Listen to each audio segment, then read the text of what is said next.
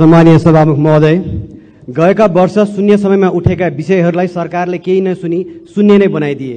हामी आशा गर्छौँ यो अधिवेशनमा सरकारले साँच्चै सुन्नेछ।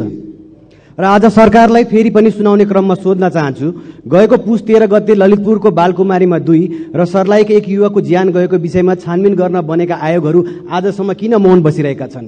घटनामा छानबिन आयोग गठन हुन्छ तर प्रतिवेदन अनेक बहानामा अल्झाइन्छ अनि दराजमा लुकाइन्छ।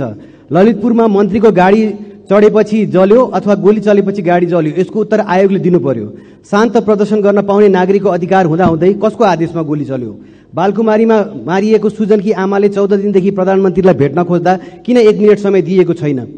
सरकारले क्षतिपूर्ति बापत दस लाख अनि परिवारलाई रोजगारी दिने सम्झौता गरे पनि त्यो पूरा भएको छैन। सभामुख मार्फत सरकारको गम्भीर ध्यान आकर्षण गराउँदछु।